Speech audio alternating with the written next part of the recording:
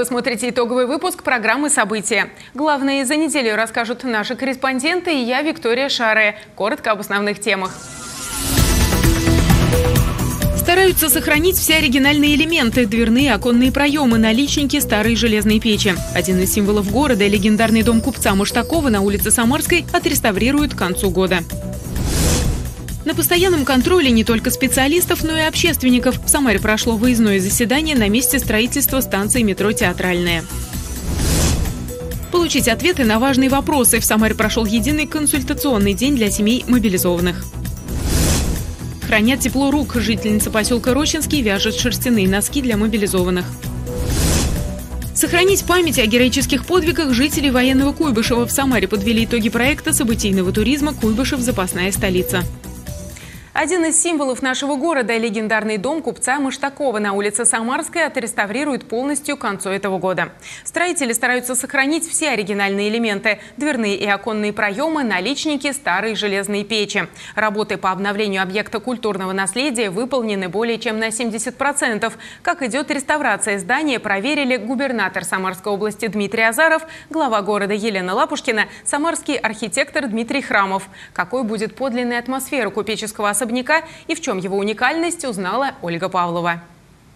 Самарский памятник деревянного зодчества дом купца Маштакова готовится обрести новую жизнь. Строители уже отреставрировали окна, основательно поработали над лепниной, крышей и фасадами. Печи 19 века, которые создадут уникальный интерьер эпохи для нового культурного пространства, сохранили практически в первозданном виде. По мнению научного руководителя, московского архитектора Андрея Баде, цель реставрации – выявить все уникальные артефакты. К примеру, на втором этаже здания будет довольно большое окно, через которое посетители смогут увидеть чердачные стропила. При его реставрации специалисты пытались собрать все детали, которые были задействованы при первоначальном строительстве особняка. Тот вид чердака, который раскрывается, э, он частично э, восстановлен, частично воссоздан, э, но для того, чтобы нагрузки от снега, влияние от погодных условий, от ветра, от дождя, от зноя, чтобы от этого влияния старые конструкции были защищены, было принято решение уже такую конструктивную кровлю восстановить. В доме Маштакова обустроят галерею «Заварка». По проекту на втором этаже здания планируют организовать многофункциональное экспозиционное пространство с выставкой уникальной коллекции работ архитектора Вагана Каркарьяна. А на первом откроется арт-купеческая чайная, где будут завариваться новые творческие идеи.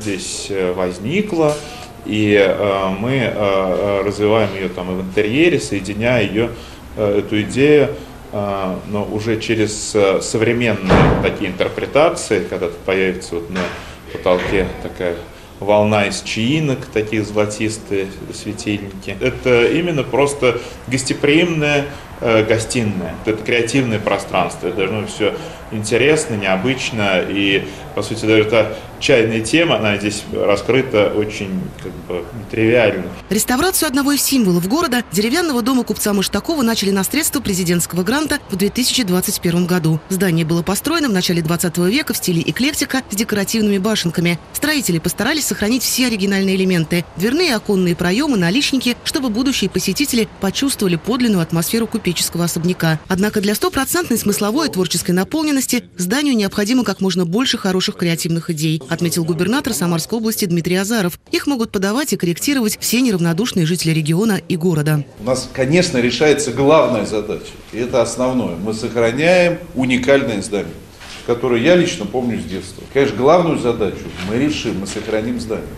Но мы же не можем ограничивать себя одной задачей. Да? Мы создаем новое пространство. Важно, чтобы они жили, чтобы здесь жизнь была, да? чтобы здесь наполненность была. Коллеги, сделайте мне так, чтобы здесь жизнь кипела. После того, как завершатся все реставрационные работы и Всероссийское общество охраны памятников истории и культуры передаст здание муниципалитету, особняк Маштакова будет считаться филиалом музея имени Ильдара Рязанова, отметила глава города Елена Лапушкина. Открыть новое культурное пространство обновленный дом Маштакова планируют уже к концу этого года. Ольга Павлова, Николай Епифанов. События. В Самаре прошло выездное заседание региональной общественной палаты. Его провели на месте строительства станции метро «Театральная». Метрострой находится на постоянном контроле не только специалистов, но и общественников. Как они оценили подготовительные работы на объекте, расскажем в следующем сюжете. На стройплощадке, где в будущем появится новая станция метро «Театральная», встретились представители общественной палаты Самарской области и Минстроя, чтобы проверить, как идут работы. Здесь идет подготовительный этап. Здесь идет перенос сетей.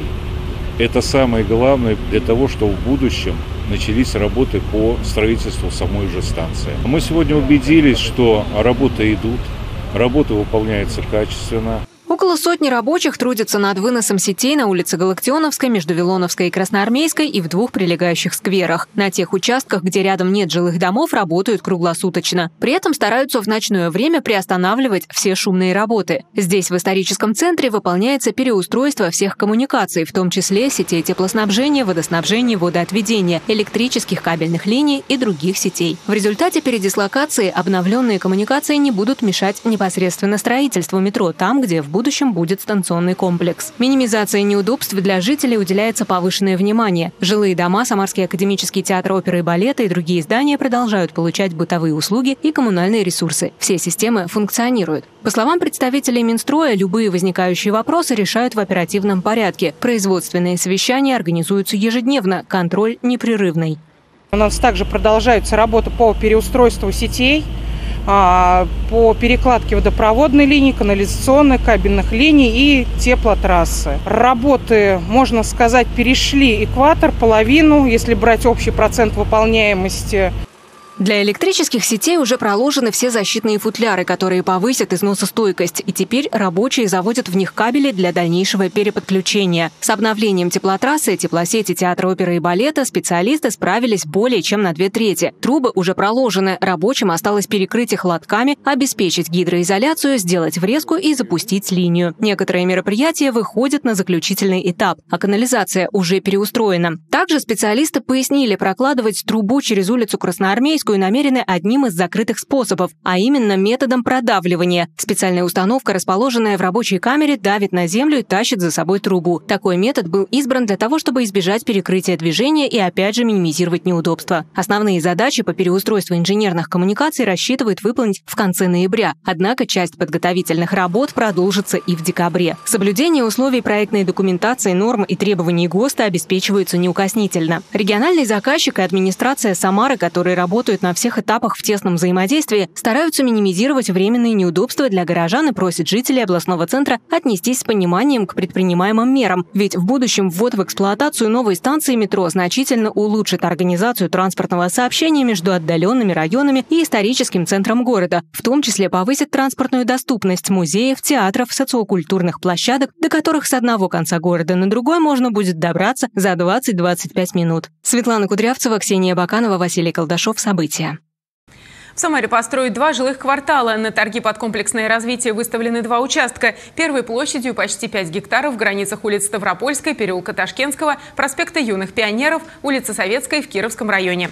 Второй в границах улиц Революционной, Корабельной, Третьего проезда, улица Артемовской в Октябрьском районе. Его площадь почти 2 гектара. Предельный срок реализации проекта составляет 5 лет с момента заключения договора о комплексном развитии территории. Сейчас на участке находится 15 ветхих домов, а также гаражи гаражи и кладовые. Все они подлежат сносу.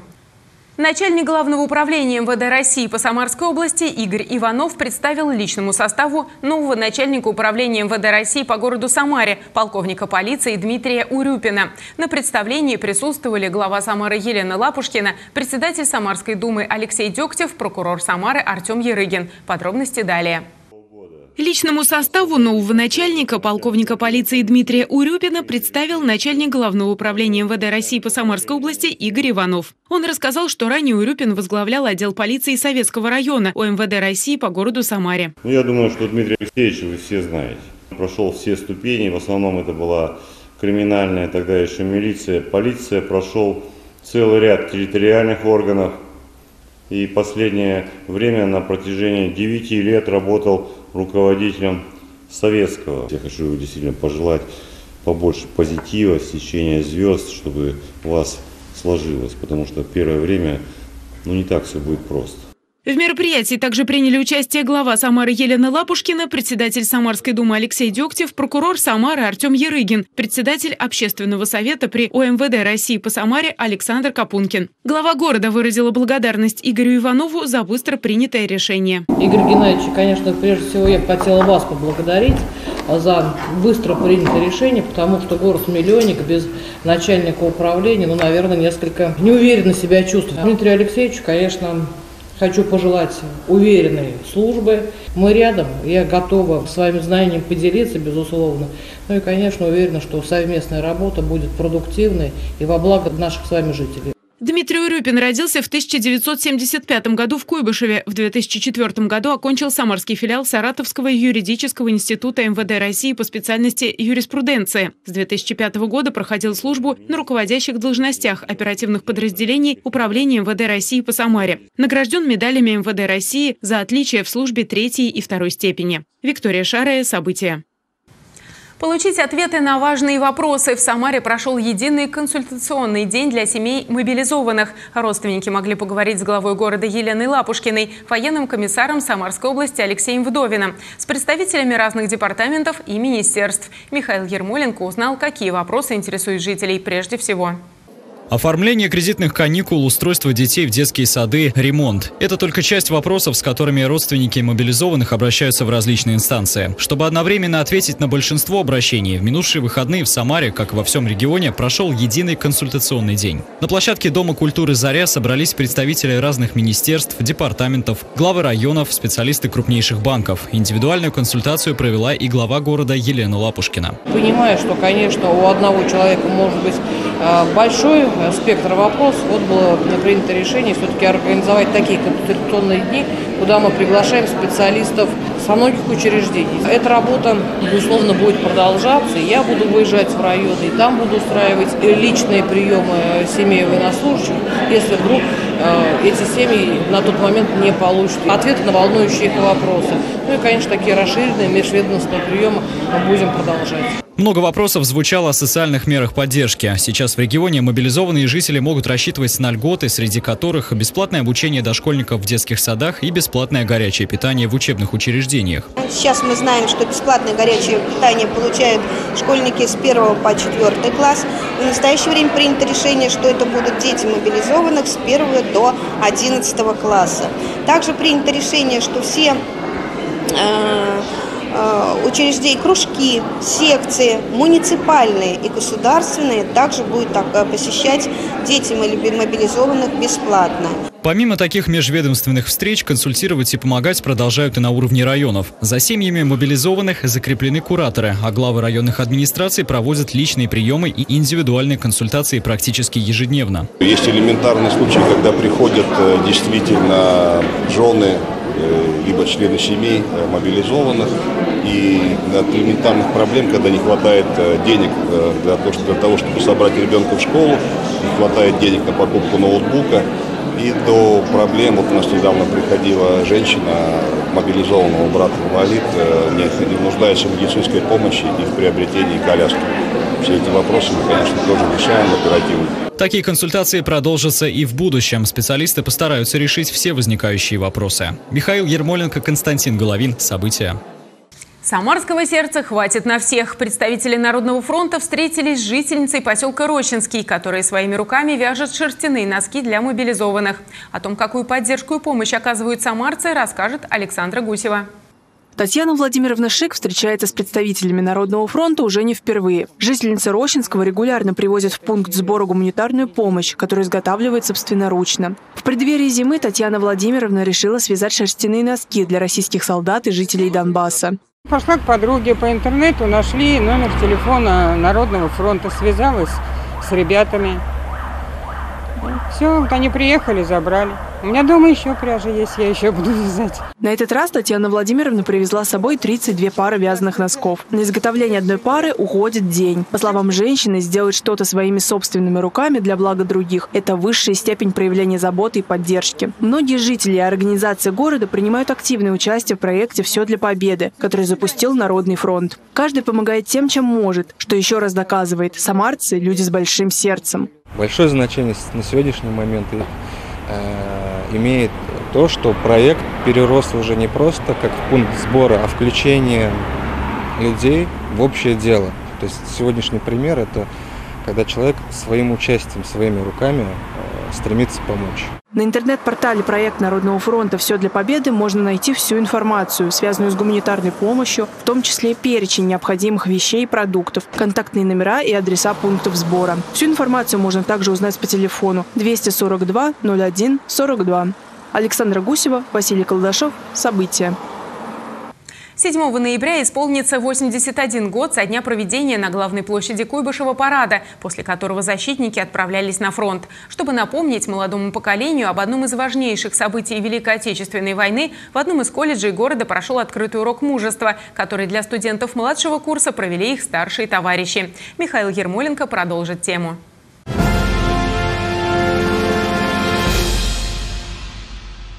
Семья студента Сергея Петрушина память о параде 7 ноября хранит поколениями. Дедушки парня прошли всю Великую Отечественную войну, дошли до Берлина. Один в роли пехотинца, второй танкист. Сергей интересуется историей России 20 века и в свободное время парень работает в музее Поволжского государственного колледжа, где учится на втором курсе. Молодой человек знает все об экспозициях, помогает экскурсоводу. Полезный досуг дает свои плоды, поэтому именно Сергею и его напарнице Ольге выпала возможность провести открытый урок и рассказать первокурсникам о параде, который в 1000 1941 году проходил в Куйбышеве. Как мы знаем, этот парад проходит в нашем городе уже не первый год. День 7 ноября, парад памяти, очень важен не только для города, но и для моей семьи в целом.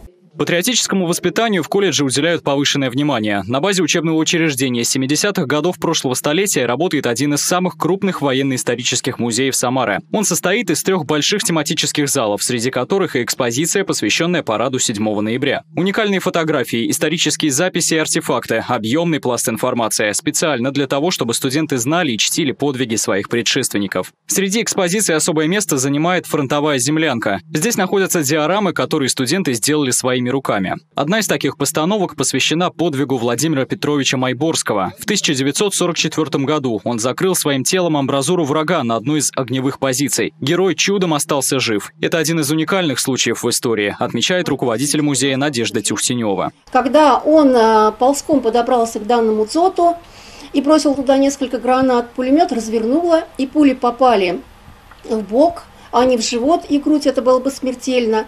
Долго врачи боролись за жизнь данного героя. И в 80-е годы Владимир Петрович Майборский, как почетный гость, приезжал к нам в музей – Поволжский государственный колледж и подарил гимнастерку старого образца, которая на муляже одета. Для Поволжского государственного колледжа события 7 ноября 1941 года особенно важны. В этот день одним строем с бойцами, отправляющимися на фронт, прошли и учащиеся ремесленного училища номер один, родоначальники профессионального образования в Куйбышеве. Шли под знаменами трудовых резервов, после гарнизона и частей войск. Переходящее знамя несла сводная группа знаменосцев, среди которых был активный участник комсомольского ополчения 1000 1941 года Анатолий Хуторов. Одна из экспозиций военно-исторического музея колледжа посвящена этому знаменитому ремесленнику военного времени. Михаил Ермоленко, Константин Головин. События. Сохранить память о героических подвигах жителей военного Куйбышева призван проект событийного туризма «Куйбышев. Запасная столица». В субботу на сцене Дома культуры «Заря» подвели итоги его реализации и наградили самых активных участников памятными медалями. Для зрителей выступили творческие коллективы города. Призначен свет в этом мире только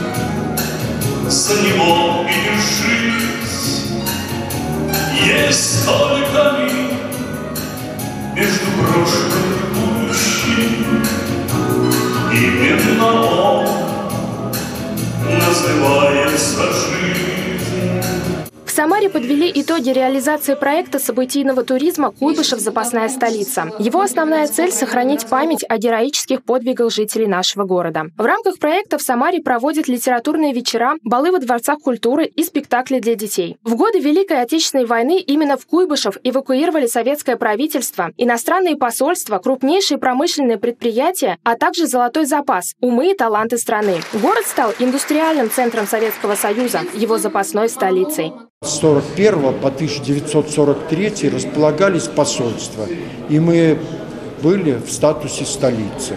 Поэтому это особая честь Москва, Петербург и Самара.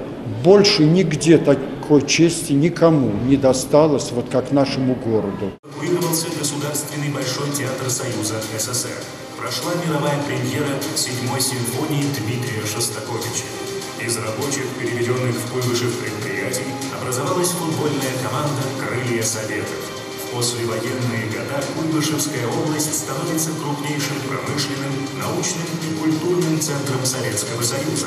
На сцене Дома культуры «Заря» наградили депутатов и учителей, которые принимали активное участие в реализации проекта памятными медалями. За ваше участие, за нашу солидарность творческую. Мы всех вас благодарим, друзья.